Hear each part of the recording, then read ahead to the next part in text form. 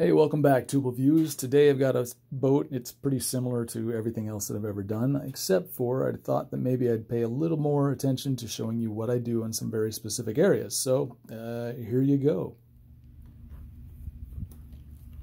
All right, I've got a little heavy cut on here, and I'm going to tackle the shoulder. Figured the sun's out, you can see it. Might be a good place to do this. So here we go.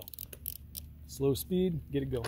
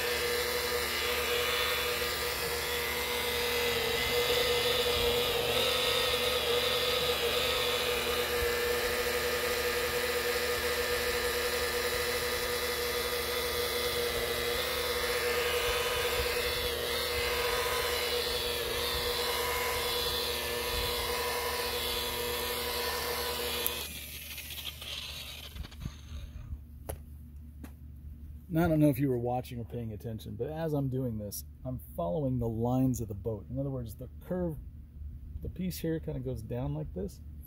So when I wipe this off, hopefully, the reflection that you're going to see, if there is a swirl, that swirl line follows the line of the boat, meaning if your eye's here, the line is here. If your eye's here, the line is here. If your eyes are here, the line is here. So hopefully, I'm not whistling Dixie here, and it's actually going to look the way I said it's going to look. Now this is heavy cut, so you are going to see a little bit of a swirl because it was done on a curved surface using a round spinning wheel, and that inherently causes problems. So you're going to see some little star effects, maybe a little hologram here. I'll wiggle you back and forth. You can follow that line. See how it follows the shape of the boat? That's what you want. I mean, if you're going to leave a swirl, it might as well look like part of the boat, right? Okay, so if that's the first step with a little bit of heavy cut, some of you who've been watching for a little while might already know that the very next step is going to be Perfect-It EX AC.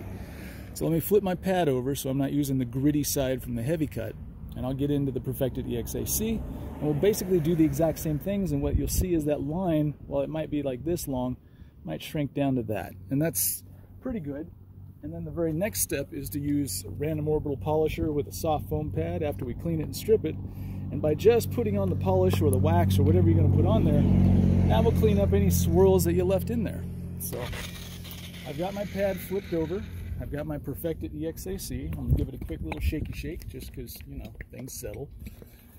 And then I'm going to put this on the pad just like I did before. Perfect-It EX AC. Don't need too much. It's not a huge section. But I do want enough on a dry day like this, especially with the sun directly above, I do want enough on the pad and the surface that I have some time to work it so that it breaks down all the way. All right, here we go.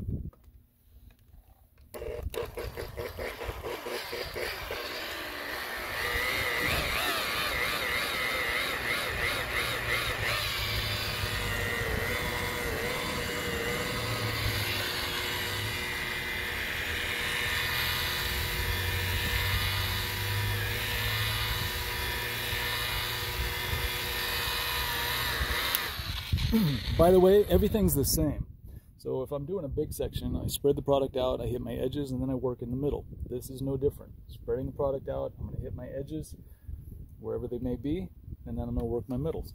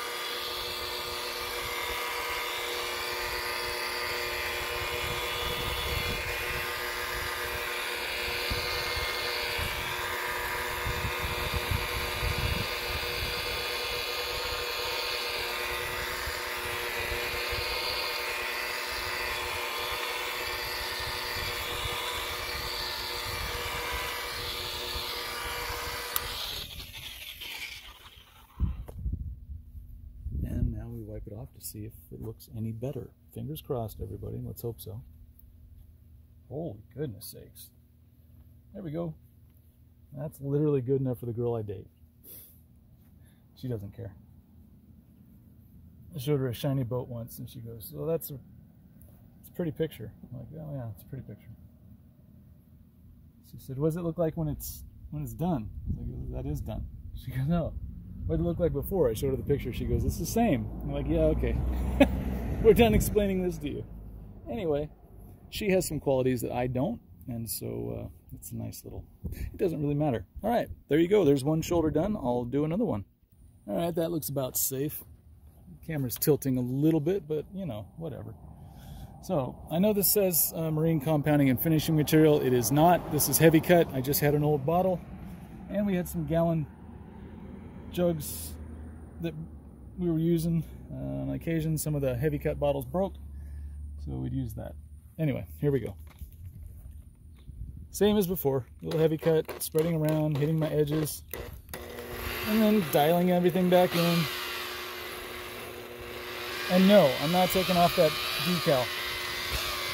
You're right, I should, but I'm not gonna. It wasn't my call.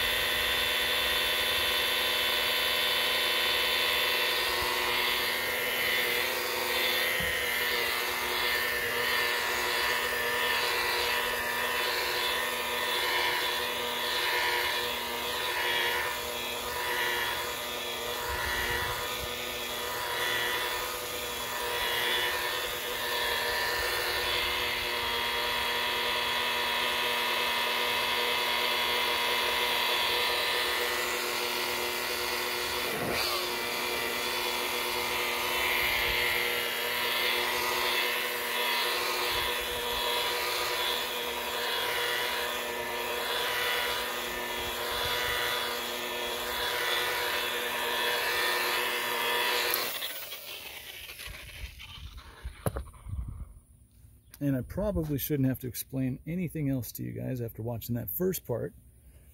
So maybe I won't. I'll just wipe this off and you can see what it looks like. And then you'll assume, oh, next he's going to use Perfect-It EX AC. To which you'll be right. Yay. All right. Flipping the pad over to a non-gritty side. Adding Perfect-It EX AC. And love and life. Dun. Bink. All right. Clean side of the pad. Buffer works. I know because I just hit the trigger and tested it, which I always do because I'm a detailer. A little bit of the old Perfect-It EX AC.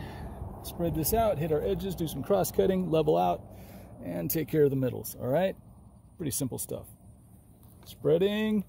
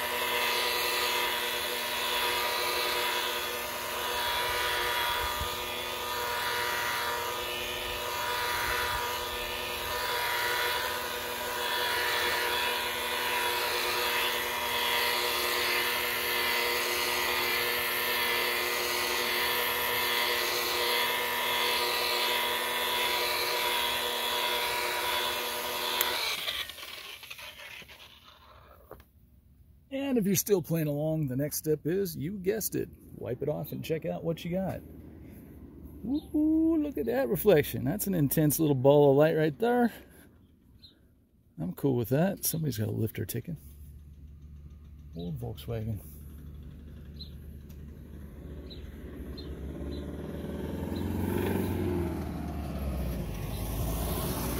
All right, very next step is grab the random orbital polisher put some, uh, actually no, you know what? If you're paying attention, you caught me in a lie. The very next step is to strip this, clean it, make sure we like what we see. So let me put you on pause, I'll be right back. Okay, I've brought my stripper. This is not the type of stripper obviously we all want and need in our lives, regardless of what my girlfriend tells me. She don't know, she don't know. All right, so you see some streaking going on there? Sorry, I bumped the camera.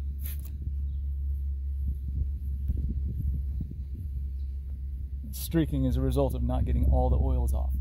So you see streaking after you've wiped it, that's why. All right, let me put you on pause. I'm gonna go do the other side real quick just to be efficient.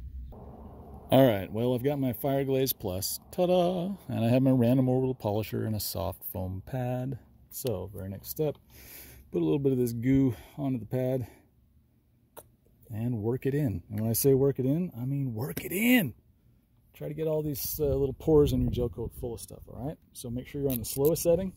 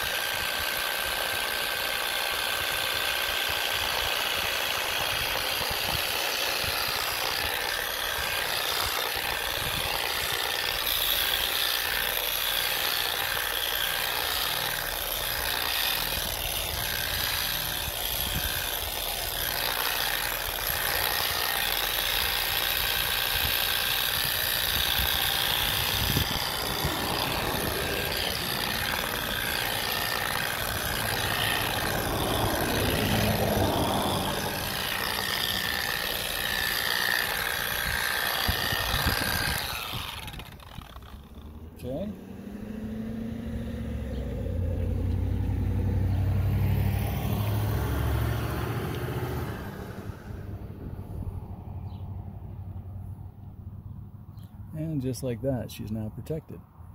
Ta-da! You guys want to see the other side? It's just as boring. All right, like I said, just as boring. You're not going to enjoy this any more than you did the last one.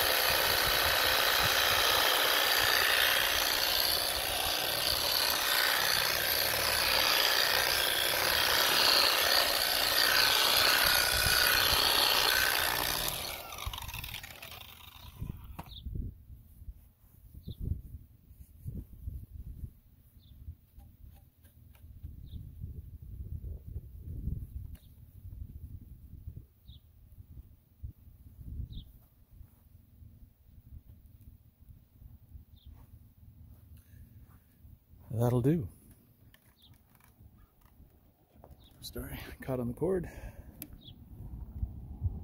So there's how you do curved pieces of gel coat. You just have to think a little bit within the geometry of what you're working on and it's not too hard to leave a swirl-free finish. Anyway, the rest of this boat is going to be just the swim step and transom and no offense to y'all, but um, it's too hot for me to be taping all this off and doing the work and talking about it and moving the camera around. I really want to get home and have a beer. So I appreciate you showing up. Um, again, beautiful day, gorgeous scenery, happy to be alive. Fine, maybe I maybe I wanted to show you this. So if you haven't seen this before, this is how I tackle the transom in a swim step. Basically, I'm trying to protect the non-skid from the compound and the buffer and make sure that there's a decent delineation between, let's say, like this little area here that should be shiny gel coat versus this area in here and this area here. And I'm, if you haven't figured it out, I'm using my shadow hands as the uh, cursor. So I've taped off all the non-skid. I've also taped off anything that I think is going to interfere with the compound. Sometimes on these hatches, there's a, a hinge. And so I've take, a little tape, put that over that so that the hinge, because it's not stainless steel, or at least it's not the best stainless steel, sometimes has an interaction with the compound, the aluminum oxides, the titanium dioxides, and it just spreads that dark, nasty stuff all over um, your shiny gel coat, which it's not terribly difficult to get off, but when it gets in the non-skid, sometimes that gets kind of hard to get out. So the next step is to take out all these little snaps, and I've kept them up there so I don't lose any. Um, and what I'm going to do is compound the big areas. I'll even compound uh, some of the, the stuff like up in here. This is all going to get a little bit of compound. I'm not going to be able to get perfection out of this just because it's too small. What I can do though is knock down all the, uh, the oxidation to the point where I can use uh, a cleaner wax to follow up and it'll create the illusion that everything I did on the outside of the boat also got done here. Now, I can take it up a notch or two uh, down here on this little section right here, all the way around. I can make that look absolutely outstanding. And then I can do the exact same thing out here on this outer edge. So realistically, you, it's hard to take an older boat, especially when it's got some oxidation in like these little corners, the stuff in here, your wheel's gonna have a hard time spinning around and getting in there. So what you can do is where the wheel fits, you can use it right like around this area. And you can maybe even get it up underneath this little handle and you can touch some of this right in here. But the little areas right in these little corners here, this stuff here, and there's obviously some over there, those are going to be a little bit hard to get with a buffer wheel and you're never going to get perfection uh, out of your buffer in these areas. What you can do, however, since I already have a drill here, I'll use one of these Flitz metal polish balls for like doing uh, wheels. Now I've put a little piece of uh, uh, wire conduit around here just so I can hold this while this thing spins and it doesn't burn my hand up. And with this, you can get into some of these tighter spots. Now, if you can't get into there with that, I also have a little guy here, and this is just a, a foam, squishy, soft microfiber, I don't know, you can call it a, let's just call it a thing. Anyway, this can get up in here and do some do some work. And again, it's just all kind of bringing it together so that your eyes kind of perceive that everything was done to absolute perfection. In reality, it's not. It's all illusion.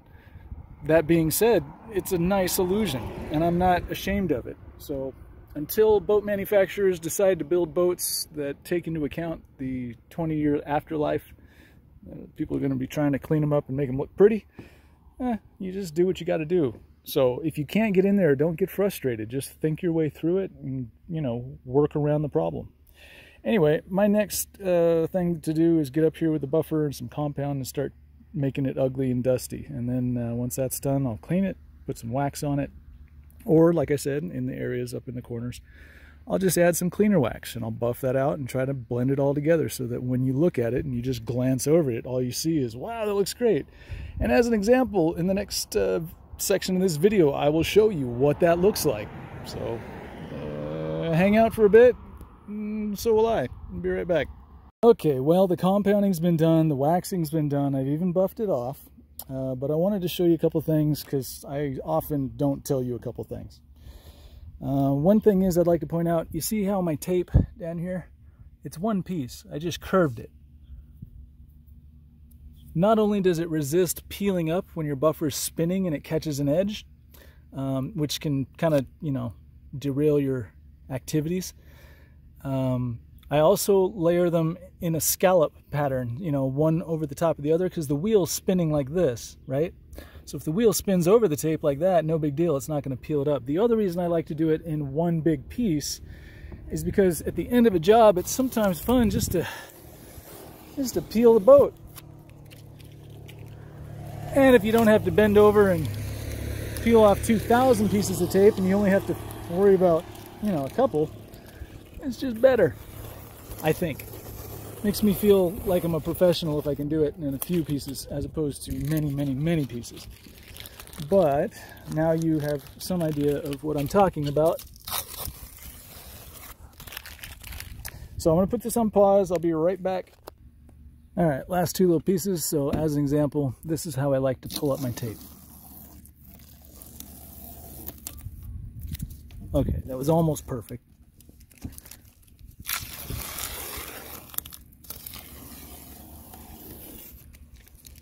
There we go. Throw this away. Bam. All right, so now you can maybe get an idea of why it's kind of cool to tape this off. You'll see the little glisten from the shine, the reflection of the sun. But then you'll see where the non-skid is and it has no reflection. So it indicates to somebody, hey, somebody waxed my boat. And they cared about making uh, less of a mess than most people. Now, if you think that this looks good, I appreciate it. Give you an idea of what it used to look like. There's that.